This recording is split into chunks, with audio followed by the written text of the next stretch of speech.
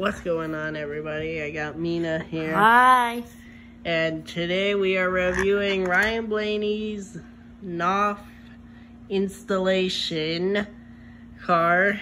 Uh, first we got Knauf, Pennzoil Ford, Mustang, because this is from 2019. And we got this, we got Moan, Richmond, Goodyear, Knauf Insulation. And of course, it has Blaney's name on it. Yeah, Ryan Blaney, Blaney's number. The difference between the other one is, the number is black instead of red. and the nose of the car.